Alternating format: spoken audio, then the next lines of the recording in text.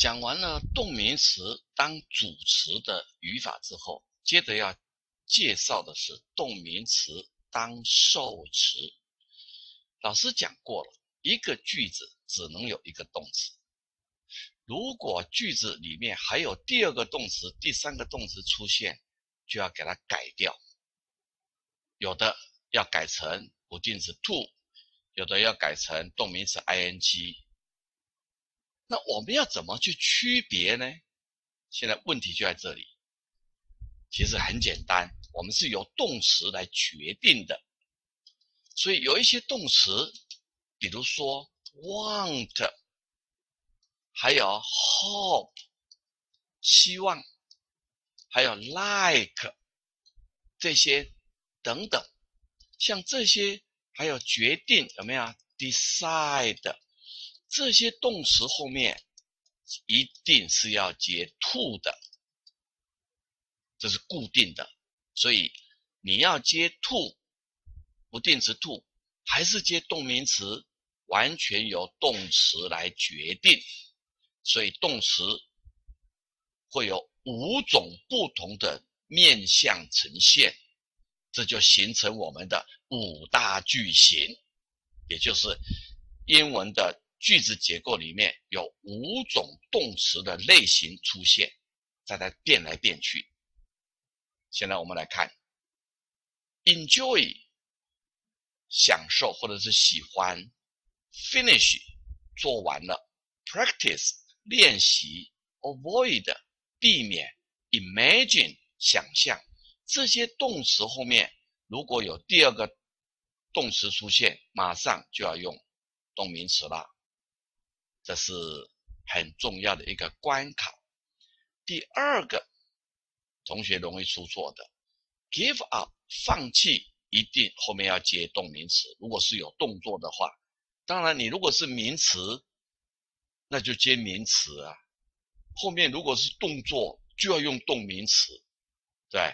所以动名词就是动词的那个名词用法。就叫动名词，啊，它具有名词的性质的那个动词就叫动名词。Be fond of 是喜欢，你看介系词后面一定要用动名词。Be tired with 是疲倦，介系词也要用动名词。On 是 keep on 是继续、持续的意思，介系词 on 后面也要用。动名词很重要，动名词出错频率蛮高的。现在我们看例子，I cannot imagine，我无法想象。你看，马上出现动名词了吧？所以这个时候就不能乱写了，不要再写什么 to live，这个是不对的，要用 living a life。我无法想象过一个什么样的生活啊？Without a computer，过着一个没有电脑的生活，我是无法想象的，一定很不方便。这是第一个例子。看第二个例子，We should avoid，我们要避免 hurting。你看，avoid 这个字一定要加动名词，因此不能写到 to hurt，这个是不可以的。好，我们要避免伤害什么？Hurting 就是伤害，the feeling，feeling 就是情感，谁的情感？后面加一个片语来补充说明，of our friends，我们朋友的情感，我们应该要避免伤害朋友的情感。第三个例子，Jane is tired with，这是片语，is tired with 是。疲倦的，这个感到很疲劳了。介系词 with 在这里，所以一定是接 doing，不可能用 to，这个就很清楚了，不可能用 to 了。他做那么多的 so much housework alone，倦呢？因为 alone 是单独一个人做那么多的 housework 是家务事、家事。所以他感到非常的疲倦，is tired with。现在了解这个动名词的用在什么情况已经了解了。现在我们来做练习吧。第一题，We must avoid the same mistake。我们一定要避免犯相同的错误，尤其是在考试的时候。老师看到 avoid，avoid 这个字，避免这个字，后面一律就是 ing 接动名词，答案就是 B。第二个，make it。第二题，whatever difficulty you meet，whatever difficulty 就是不论什么困难，you meet，meet 是遭遇到，这整个意思就是说，不论你遭遇到什么困难，never give up。不要放弃学英文，所以看到 give up 没有？放弃，放弃这个片语后面一律是接 ing 的，所以 give up 后面要加 learning English，因为 English is so important，它是那么的重要，所以不管你学英文碰到什么困难，绝对不要放弃学习。所以正确答案要选的 A learning。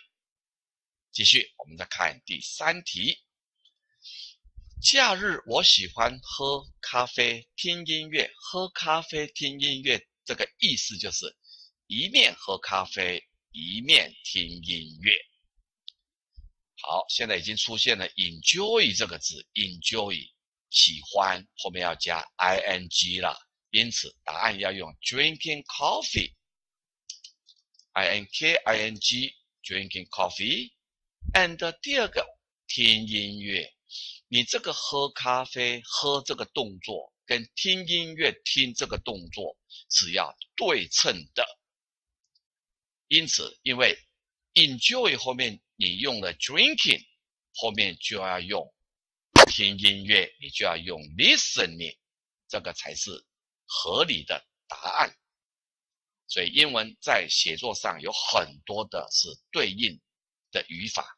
这个它的语法要一致，不定式 to 配不定式 to，动名词 ing 就配动名词 ing，这样子写作才会很顺畅。第四题，不要放弃追求自己的理想，那就 never give up，give up 出现了，那当然后面就接 ing 了。放弃好，我们要加追求，追求用 pursuing。这个自己的理想，你有没有看到前面的写法是用什么句？起始句一开始就告诉你，劝告你不要放弃，所以这个起始句是针对你提出来的一个忠固劝告。所以自己的理想，这个自己其实就是讲你的理想。这个才是按照我们中文的内容来做一个很贴切的翻译，因此我们要加所有格啦。Never give up pursuing your ideal，这就是理想。后面我们可以补充什么理想？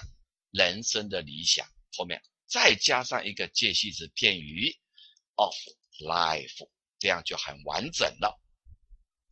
好，再看第三题、第五题了。小孩享受沙滩上玩耍的乐趣，乐趣就 pleasure。我们先看主词 the children，动词 enjoy。好了，看到 enjoy 了，enjoy 就是要加 ing。但是如果是名词，那就写名词喽。我们现在看一看内容，小孩是主词，享受是动词，享受什么？沙滩上吗？玩耍吗？还是乐趣？当然乐趣，所以要先写乐趣。但乐趣是名词，所以我们就要用名词来写，有限定的 pleasure，因为这个乐趣是在沙滩上玩耍的乐趣，不是指别的乐趣，所以这个有特定的，我们就要加定冠词的 the pleasure。好了，我们继续再把后面的内容完成，自问自答吧。乐趣什么乐趣？玩耍，所以后面用片语了，the pleasure of playing happily，快乐的啊，只有写玩耍，我们就写 playing 就好了。家具接地方片语在哪里玩耍啊？在沙滩上，playing on the beach，b e a c h。这个就是后半段整个的翻译。The children enjoy the pleasure of playing on the beach. OK，动名词当受词，还有在介系词后面的受词，在写作上出错频率是蛮高的。那么同学希望这个重点要多加留意。